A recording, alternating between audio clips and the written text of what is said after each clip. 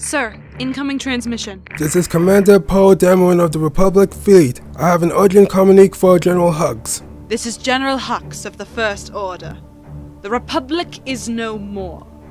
Your fleet are rebel scum and war criminals.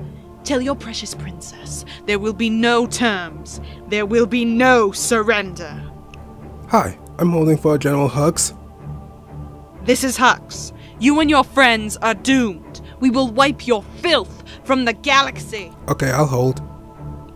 Hello? Hello? Yep, I'm still here. Can you he- Hux? Can he hear me? He can. With an H, skinny guy, kinda pasty? I can hear you. Can you hear me? Look, I can't hold forever. If you reach him, tell him Leia has an urgent message for him. I believe he's toying with you, sir. About his mother? Hmm. Tell Captain Canady to prime his dreadnought.